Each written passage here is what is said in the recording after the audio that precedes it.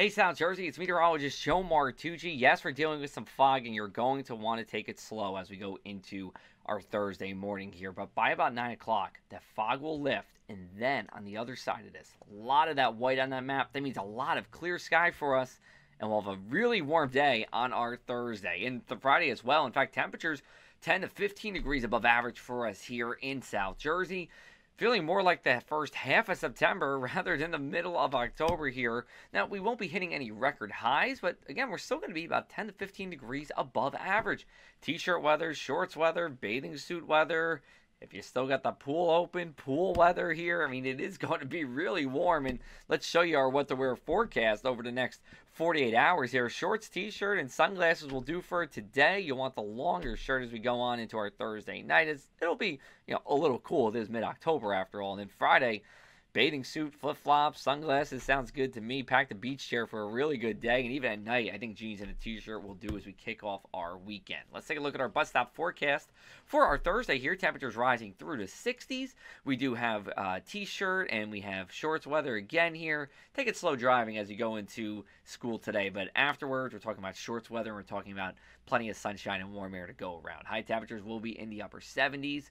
Uh, that is well above average again for this time of the year. And let's take a look at our on the water forecast for Thursday. Yes, on October 14th, we're talking about a beach forecast, wave heights 2 to 3 feet. Swells come from the east with a wave period of six seconds, and water temps are really driving some of this warmth here because some of that milder air is blowing onto land. So we got water temps mid to upper 60s, which is a little bit above average for this time of the year. Our temperatures on land are more than likely going to be above average as well. Going into our Thursday night, temperatures slide through the 70s and 60s during the evening. Overnight lows will be in the mid to upper 50s on the mainland, low 60s at the shore, and then for our Friday, low 80s on the mainland, of sevens at the shore, lucky sevens at the shore. Great day to head to Atlantic City on what is our warmest Friday since October, excuse me, August 27th here, so feeling more like summer. And then as we go into Saturday, that's the next shot of rain here across the area. You see this line of showers and storms that passes through. It's a few hours of rain between 6 p.m. to about midnight or so.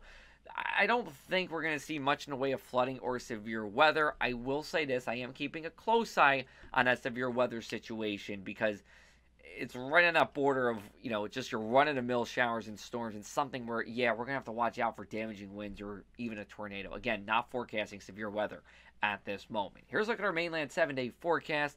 I'll tell you what saturday and sunday almost going to be opposites of each other. I mean, Saturday continues that warm summery air, but once that cold front comes through with those thunderstorms, bam, we are going right down the fall. Temperatures in the mid to upper 60s for Sunday and Monday with a mostly sunny sky, and then for Tuesday and Wednesday, plenty of sunshine. Temperatures rebound back up through the 70s. We look at the shore, same story here. Pair of sevens for highs Thursday and Friday. No fog at the shore for our day today, of course. And then as we go into the weekend, temperatures staying you know, cooler compared to the past couple of days, at least this week, but still seasonable as average highs, even at the shore, are in the mid to upper 60s. For latest in South Jersey weather, you go to our website, pressofAC.com slash weather. Of course, on social media, you can see all my content, our articles, podcasts, as well as other fun things going on around South Jersey.